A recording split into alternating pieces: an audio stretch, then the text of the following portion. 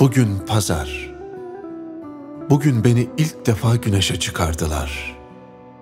Ve ben ömrümde ilk defa gökyüzünün bu kadar benden uzak, bu kadar mavi, bu kadar geniş olduğuna şaşarak, kımıldamadan durdum. Sonra saygıyla toprağa oturdum.'' Dayadım sırtımı duvara.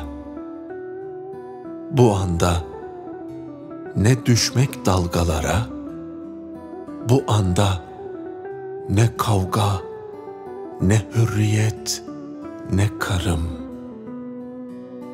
Toprak, güneş ve ben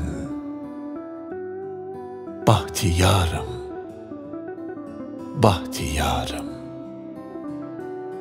bahtiyarım.